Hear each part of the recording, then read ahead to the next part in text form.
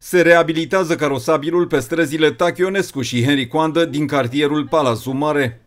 După ce a fost decapat vechiul strat de uzură, carosabilul este recondiționat cu un nou strat de asfalt. Pentru a nu se îngreuna desfășurarea lucrărilor, circulația este restricționată total până la ora 16. Șoferii sunt sfătuiți să folosească ca rute alternative străzile Liviu Rebreanu, Corneliu Baba și prelungirea recoltei.